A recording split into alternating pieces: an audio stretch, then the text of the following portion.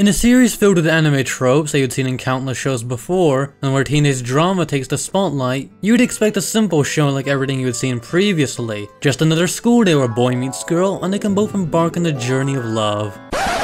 Well, scratch that. This is not the story you were ever prepared for. This is a story of boy meets girl, only for it to spiral deep into a journey of jealousy, betrayal, and heartbreak.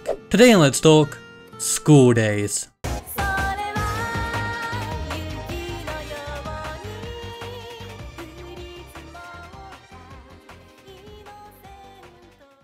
School Days. At first glance, your typical high school anime, but oh boy, oh boy, boy, boy. This show takes your usual teenage love drama to a whole new level that made me question my reality more than the end of Evangelion. Saying it shattered my brain would be an understatement. The series follows the life of Makoto Ito, a sincere and selfless.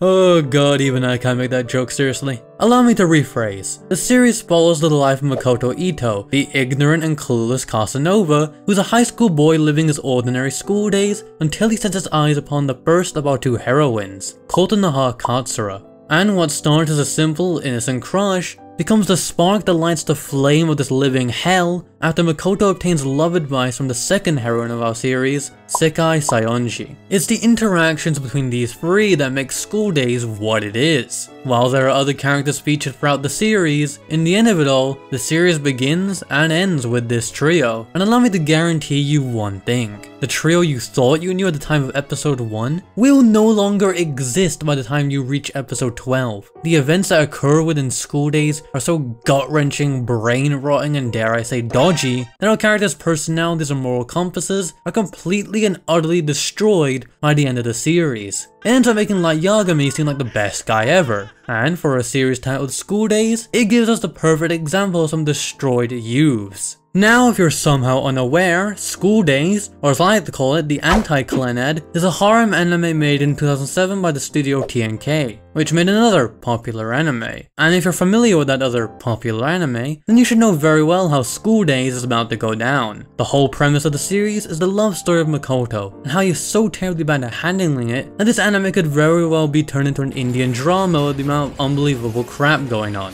Now the characters of this series are flawed, and I don't mean in the way like well every character should have some sort of flaw to make them real, I mean in the way that none of these characters have any redeeming traits. Kotonoha as a character is probably the one with the most redeeming traits in this series due to her being a shy and sweet innocent character, until she completely loses it because of Makoto's bullcrap. And of course, she would have been a bearable character if it wasn't for the fact she's ridiculously and utterly and unbelievably stupid. I mean, you would have to be more down bad than Misa to forgive Makoto for everything he did to Kotonoha throughout school days. And don't even get me started on Sekai. She may look like Furukawa Nagisa, but believe me, they are both on different ends of the spectrum. If either sum her up, then she'd be a crappy, backstabbing, lying, selfish, crappy, idiotic, crappy character. She may feel guilty for her actions during the first half of the story, but in the end of it all, she still goes along with Makoto's bullcrap anyway, betraying everyone in the process, even her closest friends. It's hard to even feel bad for her when you don't even have a reason to like her, considering the fact all she has done is manipulate the people around her to get what she wants. Why she wants it, God knows. And then there's the fact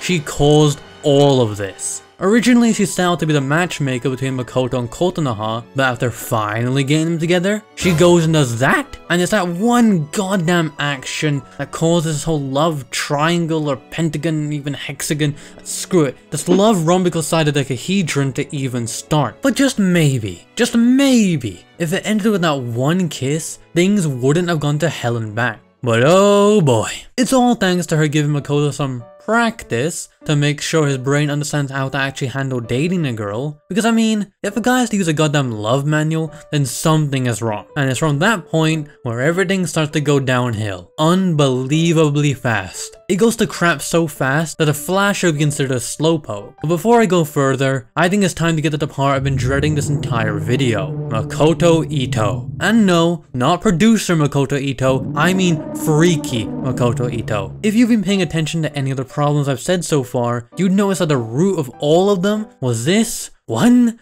goddamn guy. Curious on why he's so terrible? Sekai has it down perfect for you. Hey. Makoto is quite literally the root of all evil in this series, and if you try to tell me that he's only bad because of what Sekai did, then let me tell you he was already a terrible person long before that, with him displaying some unusual violent tendencies. Probably because of his bloodline, but that is a whole other rabbit hole. As the series goes on, he only gets worse and worse becoming a scum that shows no remorse for anything he's done, with the only thing he cares about being himself. To the point where he even considers caring about Sekai a total bother, plus on many occasions a total hypocrite. At one moment he may show no care in the world for Kotona at all, and once it becomes convenient for him, suddenly he has actual human remorse. But don't let school days trick you, they may lead you on at times to believe Makoto's worth feeling sorry for, but in the end of it all, he's a guy that lies to get what he wants, and what he wants is... And once he gets a taste of it, what he wants next is... After some more of that, good old Makoto wanted... Yeah, I think you get the gist of it now. The scumbag ends up going between 8 different girls throughout the series, and according to my Asian blood, that's a girl every 1.5 seconds. I mean, I mean episodes, Jesus Christ, I wouldn't be surprised if it was seconds, honestly. And even then, that's only the confirmed on-screen girls. It's very much hinted and safe to assume he knows a lot more than that. I couldn't even tell you how this guy managed to get all these girls when somehow he looks less interesting than Kirito and has a more boring personality than Asuna. If I had to pick between having a conversation with Makoto Ito or watching paint dry, I'd rather jump off a cliff, but Makoto wouldn't even be my fifth answer. But of course, by anime rules, him being a total loser attracts all the girls. Honestly, the scenarios in this series get so bizarre it may very well actually be a soap opera. Hell, we even get the slap of all slaps. Of course, that slap leads us into possibly one of the best anime arcs to ever exist, the School Days Festival arc.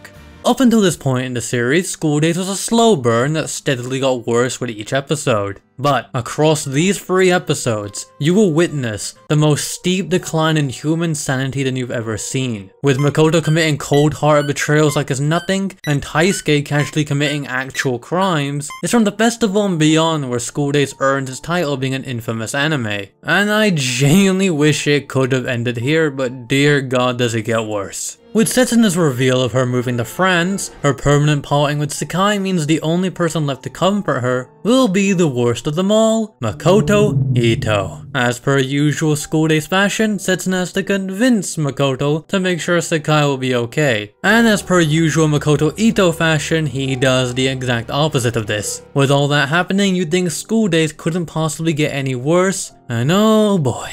To top everything off, the festival segment of school days concludes the most unexpected curveball. Yep, she's pregnant now. After hearing all this, you could only expect an anime like School Days to have the worst of all ratings. And don't worry, it does. After previously being number 1, but we do not talk about that. You may be wondering, the anime is rated so incredibly low and yet everyone still mentions it. The reason is because of the ending we didn't deserve, but dear god I am so happy we got. Now what is the ending of School Days you may ask? It's quite literally the most beautiful piece of media I've ever come across.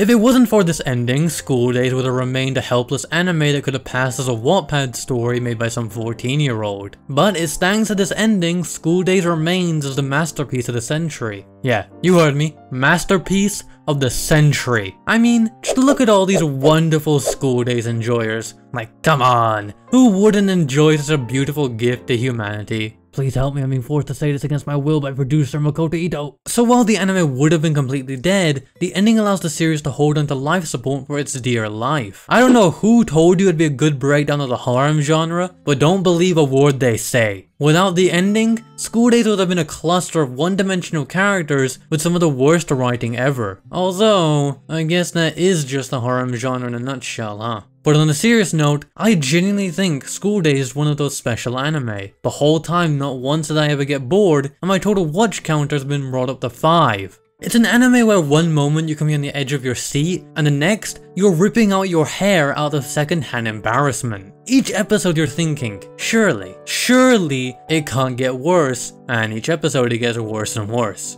From very unpleasant recorded footage to nice boats, it caused my brain to rot down to my last remaining brain cell. But hey, at least we still have best girl Setsuna. No, no, Setsuna, stop!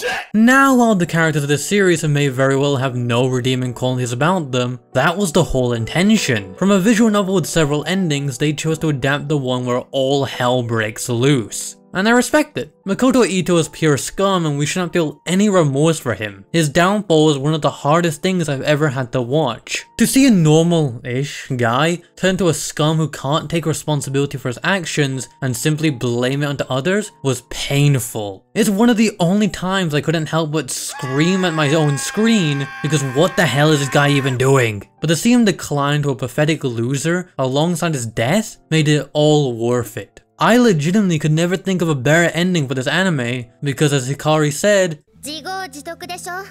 this may be an anime where the animation and art is completely dreadful. This may be an anime where the sound effects are completely cheesy. This may be an anime where the characters are the most brain-dead idiots ever, but School Days is an experience I will never forget. In conclusion, School Days is a whole load of 俺にはもうわからん桂さんがわからんお前がわからん and a whole bunch of 変態エロスビー It's the most unrealistic anime ever with the most forced drama in the world, with the only moral of the whole story being, use your goddamn brain. But hey, the music was pretty good I guess. And on that note, I'm Tenshi, and this was School Days. Mata ne mina.